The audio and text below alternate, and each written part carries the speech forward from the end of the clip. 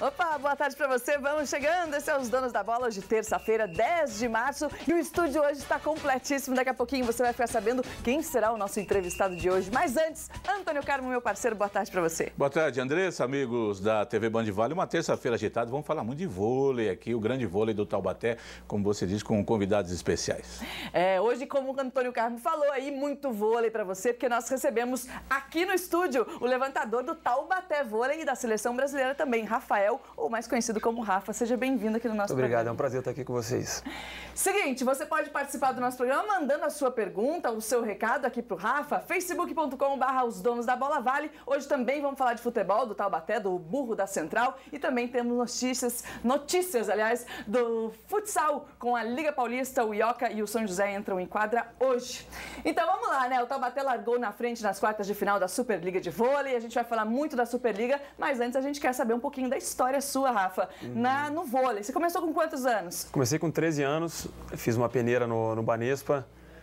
É, que era em São Paulo. Você participou daquele Banespa, peneirão? Peneirão. Aquele grandão que veio exato, no Brasil é, inteiro 5 mil garotos ah. e passaram 5. Então ali, na verdade, foi a minha maior, a primeira e maior uhum. experiência no voleibol, coisa que realmente fica no meu coração. Já chegou chegando, né? É, foi muito bacana, assim. E aí fiz do mirim até o profissional no Banespa, uhum. passei pela por voleibol é, do Barão Ceval, que foi, era um time na, em Santa Catarina, fui para Ubra e depois fui para fora. Aí fiquei 11 anos fora do Brasil e estou voltando agora esse o, ano. O Rafa, o que, que te levou a jogar vôlei? É, na verdade, eu sempre fui muito adepto ao esporte e em 92, quando o Brasil foi campeão olímpico, foi é, deu aquele boom do voleibol no Brasil realmente e foi onde eu é, falei, ah, é isso que eu quero. É, vendo o Marcelo Negrão, o Tandy, Maurício, todo esse pessoal, falei, ah, é isso aí que eu quero para mim. E aí, no ano seguinte, pedi de presente para meus pais essa peneira, me levaram até São em Paulo. Resende? Em Resende. Você é de Resende e morava lá? Isso. E aí pedi para os meus pais me levarem até São Paulo, presente de Natal. E também não acreditava. Você jogava na escola? Aquele susto também, né? Jogava na escola. escola. Isso, jogava na escola. E aí é, me levaram para peneira, era uma, uma, semana de peneira e achavam que eu não ia passar, não. cinco mil garotos é. também, pelo amor de Deus, passar entre os cinco é bom demais. Você já era super alto, assim, é 1,90 que você tem? Eu tenho 90. Na verdade, hoje não sou muito alto também pro vôlei, né? Pra minha posição, acho que até legal, mas pro vôlei as pessoas estão muito grandes. Mas na época foi até um fato engraçado, assim, que eu, na escola eu era grande e aí fui com meu pai lá para fazer a peneira.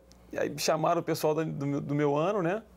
Eu levantei primeiro, achando que estava muito grande. Quando levantou o pessoal, ali eu já olhei meu pai e falei, vai ser difícil. Aí você já, você já jogava, você já foi como levantador mesmo? Não, Não? Nesse, período eu tinha que fazer tudo, ah, né? Tá. Aquele 6-0 tá. que roda. Sei, sei. E aí me apaixonei pelo, por, por, levantamento. Achei que o levantador era uma peça meio que importante, é, que a bola, né? né? A armação das jogadas e tal. Me apaixonei e falei, ah, é isso aí que eu quero mesmo. E aí deu certo, foi. Graças seguiu a, a carreira. Você estava na Itália ah, isso. quando, quando veio para o Taubaté? É, fiquei cinco anos no Trentino, né? O time italiano. No último ano de contrato com o Trentino, é, eu fui vendido com o time inteiro para o Halkbank da Turquia. E aí eh, fiz essa temporada na Turquia e acabou o meu contrato. Então foi o primeiro ano em 11 anos que eu estava fora que eu estava livre, que eu poderia realmente escolher para onde, onde ir, onde jogar. E aí surgiu o telefonema do Ricardo Navarro. surgiu o telefonema eu, eu, eu brincava com ele aqui, o Ricardo está aqui do nosso uhum. lado aqui, o, o, gestor de vôlei do, do, do, Taubaté, que eu encontrei o prefeito Ortiz de Taubaté lá em Fortaleza um dia conversando com ele lá no aeroporto, e ele falou, ah, o Ricardo estava na minha sala, ligou para o Rafael, os dois. Quando eu vi isso aí, eu falei, esse negócio é sério, hein? Então, é, e é verdade. Foi, foi, foi isso mesmo. Vai jogar no Taubaté. É, e aí eu senti muita firmeza, né? Porque é, estando ele no projeto e encabeçando tudo isso, então eu senti que o projeto era realmente sério, depois falando com o prefeito e, e falando com toda a equipe né, que, que monta é, esse nosso time, eu realmente senti que eu estava fazendo a escolha certa. Então hoje eu tenho certeza disso e muito feliz de estar aqui.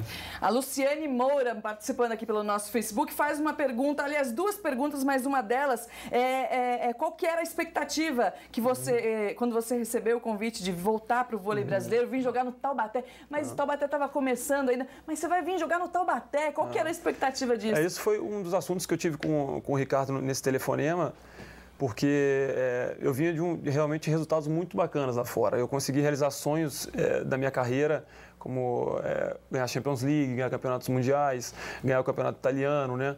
Isso é uma coisa que, que me motivava muito e que estava me deixando jogar no alto nível é, que eu sempre sonhei. E foi o que eu falei com o Ricardo, Ricardo, eu estou voltando porque eu quero ganhar, quero ser campeão. Então trate de montar um time bom, porque... É, e Não aí, quero voltar à toa, né? Ele te falou, já estou aqui com o então, Sidão, com fica o Dante tranquilo tal, que nós vamos conseguir sim. E aí é, a gente começou a conversar e aí o time foi, foi se montando e se encaixando, as peças aparecendo e, e realmente é, a gente conseguiu montar um time muito competitivo. Quando vocês ganharam do Campinas na, na, na Copa do Brasil, a gente mostrou uhum. a matéria aqui e o técnico do Campinas falou: eu perdi para uma seleção. É. Você joga numa seleção? Eu, eu, assim, essa seleção aqui para mim realmente é muito importante. Vários motivos, assim, é claro, a seleção brasileira é, é o sonho de qualquer jogador, é, mas esse aqui é um desafio novo. Realmente poder transformar um time é, não vou dizer do nada, porque já tinha realmente uma estrutura, um time que vinha brigando para tentar achar um lugar, mas transformar isso num, num, time importante no Brasil é uma coisa muito especial assim para todos nós desse grupo. Então está sendo realmente uma seleção muito especial. É, a gente continua nosso papo aqui falando de vôlei com o levantador Rafa do Taubaté. Você de Taubaté e de todo Vale pode participar pelo nosso Facebook. Daqui a pouquinho a gente vai falar de futebol também e você pode mandar o seu recado para o Rafa aqui no nosso Face. E a gente já volta com mais informações para você.